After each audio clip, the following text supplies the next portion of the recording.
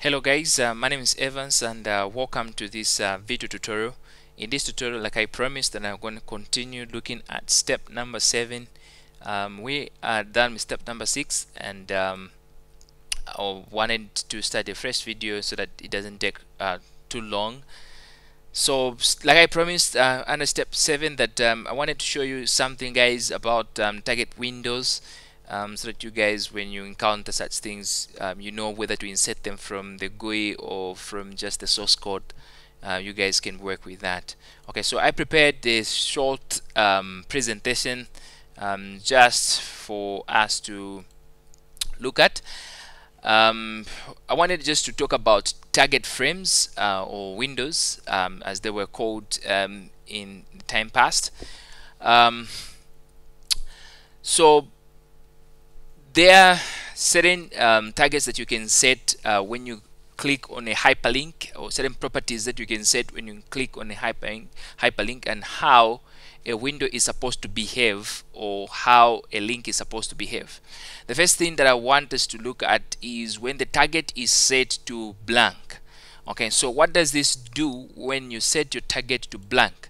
Okay, so this opens a new window and it shows the related data. So when you click on a link whose target has been set to blank, what is going to happen is that the current tab will be reserved, but a new tab will be opened and the data that is related to the link is actually going to be displayed on the new tab.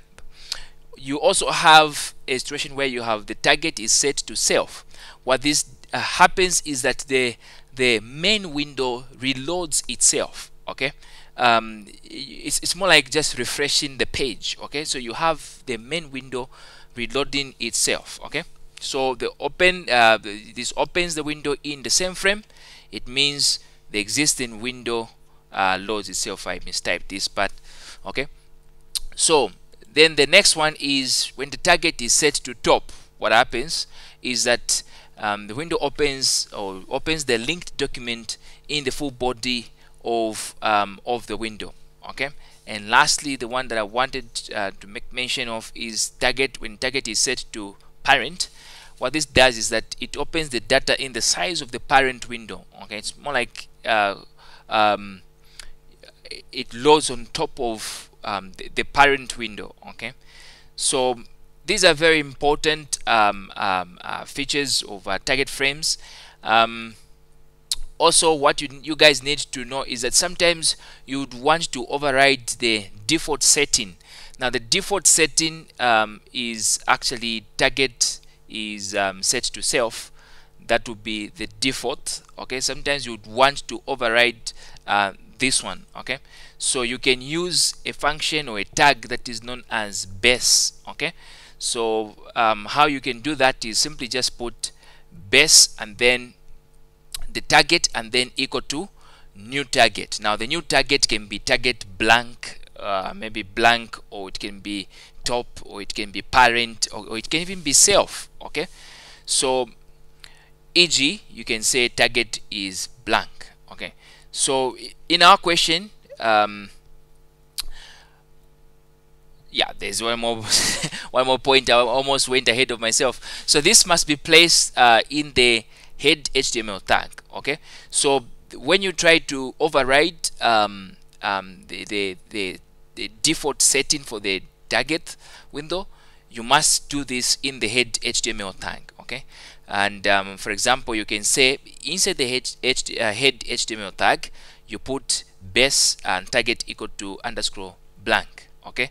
And you close your HTML tag okay? So what this does is that it's going to overwrite if this is the default setting which is self okay?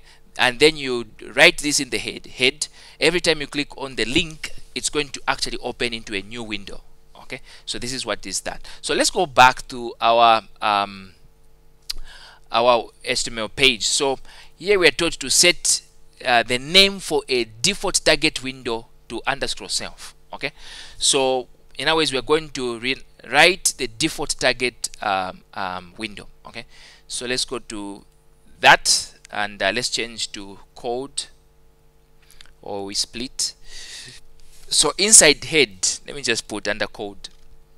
You scroll up inside head tag put your cursor at the end of title there and hit enter key on your keyboard.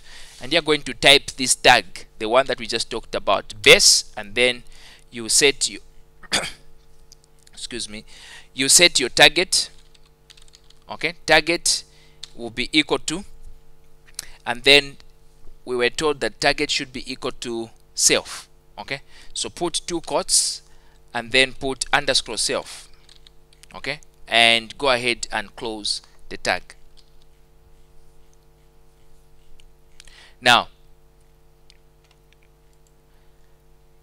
one of the things that you should take note of is that this tag should be between this head tag and this one that's what we did or that's what we talked about um, in in here.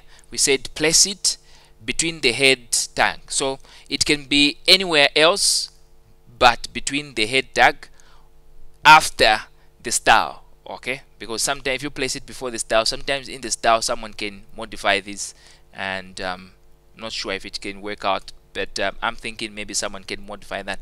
But you have to place it after the style or outside the style maybe preferably just before the head close tab um, there and then you put this code here okay?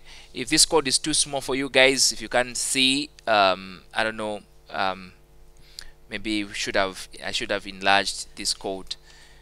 Anyway let's not bother ourselves much with that. At least you've seen what I wanted to do okay? So let's go back. So that is step number seven and there you go with your two marks so step number eight make, make the image of the elephant write a hyperlink to the web page for the Goa Elephant Sanctuary to open in a new window called underscore blank.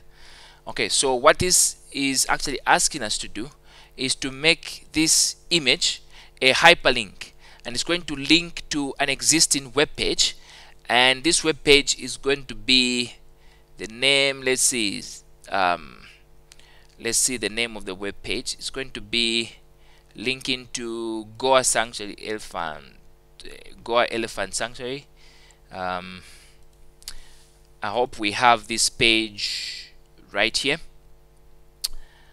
We don't have inside this page but we can test these other existing pages.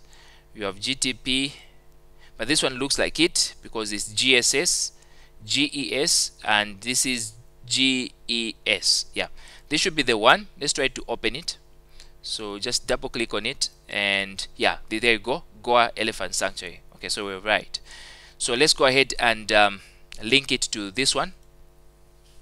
But set your target frame and it should open in a new window and it should be set as blank. Now the other one where you can set as page default is this one. If you set this one then you override the one that was there. So it, in other words the one where you can say self window or self same frame that's the self the one that we've been talking about. Then you have whole page which is top. Then you have parent frame which is that. So we talked about this in the PowerPoint slide um, but this time around we just set it in. So please don't set it as a default because if you do set it as a default it overrides again the self that we are told in the in step number seven and that is going to mess up everything. So set it as that and you see the target frame is now set as underscore blank. Okay? There's nothing else to change so just verify that and um, click on OK. And you see that this one will now become a link okay so there's a hyperlink there. So next thing that we're supposed to do okay is to get the evidence now. So um, save the web page okay display the web page in your browser. Take screenshot evidence of the web page in the browser and place this in evidence document. So let's go ahead and run this. So go to file um, save file again preview browser internet explorer. Uh, there you go with the page and just get a screenshot of this page. Make sure that the um, the web page is visible so that um, someone can see that you took a screenshot from the web page okay? So there you go step 8 paste your web page there and go to step number 9 you would need to test the website at this point. Explaining your evidence document what you would test in this website before it is uploaded to the internet. And then you type your answer into your evidence document using no more than 100 words okay? So let's come here. Okay first of all let's evaluate this web page before we we say we test it okay? Let me see um, where is it where is it? We open it with um, this one here. Now one of the things that you guys will probably want to test is that um, the links are working very well and that when you click on top it actually when click here it actually takes you to the top of the image. So make sure that the anchor is working. The images are working uh, very well okay? The internal links and everything the mail to um, uh, like the email facility is working okay? So make sure that when you click on the image here it actually takes you to the web page here okay? So these are some of the things that you're going to test. So let's type our explanation here. Okay? We need to test the internal hyperlinks if you want or links and see or make sure let's say ensure that they are working. How? That they take us to the correct web page. Okay. Also you need to check that the email link is working and it opens an email facility is working and opens an email facility with the required subject and proper email address maybe. Email address in the mail to function okay? So that is that is that is important okay? In the mail to function. If there is anything else I don't know how many words these are. We thought just they should be just a hundred. Okay so that that is fine okay also ensure that the um, ensure that the alternative text is displayed displayed when the image is not loaded okay? Ensure that the alternative text is displayed when images are not loaded.